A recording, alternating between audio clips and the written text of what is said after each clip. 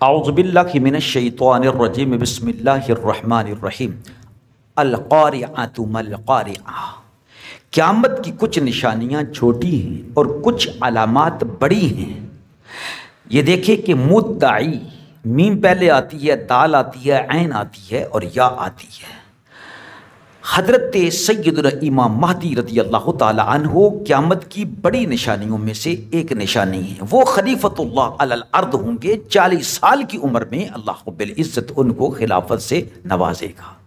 फिर दूसरे नंबर पर आता है, दज्जाल मलून ये एक नफ़र है यहूद का। इसीलिए यहूदी उसको अपना निजात दहिंदा कहते हैं, उसका जहूर होगा, पूरी रुगे ज़मीन को अपने फितने की लपेट में ले लेगा और कहेगा कि मैं रब हूँ, मुझे रब कहो, मुझे अल्लाह कहो।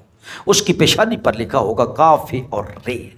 नंबर तीन, हज़रत सैद ईसा इबन मरियम सलाम तशरीफ़ लाएँगे। सख्त जंग होगी काफिरों के खिलाफ, यहूदियों के खिलाफ मोमिन की। हज़रत ईसा सलाम अपना नेज़ा मारकर उस बेईमान कज़ाब दज्जाल को वासल जहन्नम फरमा देंगे।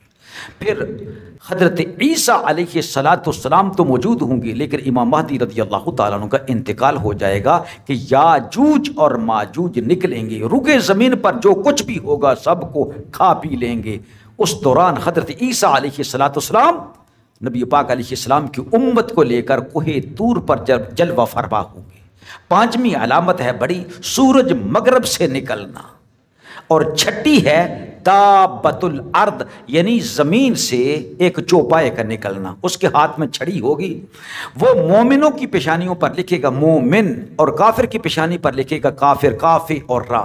काफिर फिर दोबारा कभी भी मोमिन नहीं हो सकेगा, और जो मोमिन है, वो काफिर नहीं हो सकेंगे। यानी काफिर काफिर रहेगा, और मोमिन मोमिन रहेगा। सातवीं अलामत है, बहुत बड़ी क्यामत की अलामत में से, वो है आसमानों की तरफ़ धुआँ ही धुआँ फैल जाना। अल्लाह ताला से दुआ करते हैं। अल्लाह ताला हमें हक बात याद करने की, कहने की और उस पर अमल करने की तोफ़ी नसीब फरमाए।